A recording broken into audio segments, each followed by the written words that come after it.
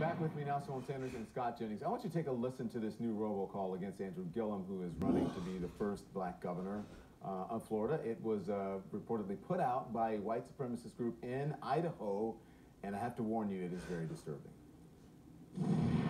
Well, hello there. I is the Negro Andrew Gillum, and I'll be asking you to make me governor of this here state of Florida. My opponent, who doesn't call me doing a lot of hollering about how expensive my plans for health care be. But he be thinking of the white man's medicine, which is very expensive because it uses science and whatnot.